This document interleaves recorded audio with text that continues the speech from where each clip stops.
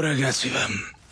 Nem úgy volt, hogy ma anyád vigyáz a gyerekekre. Már hallom is, hogy rákezdi. Jó ég, megint mekkora felfordulás van nálatok, szabad az egész konyha. Hányszor mondtam, hogy ne legyen túl erős a kávé, mert nem tudok elaludni. Á, miért nem csinálja meg magának? Elég nagy Már éppen nem? vagy. Csinálsz nekem is egyet, jó erőset. Te is kérsz, anya? Nem, elég nagy vagyok. Már csináltam magamnak egy erőset. Méreg erőset. Egy hosszú kávé tejjel, egy rövid és erős fekete, egy kávé minden hangulatra. Egy megismételhetetlen pillanat, egy Nescafé.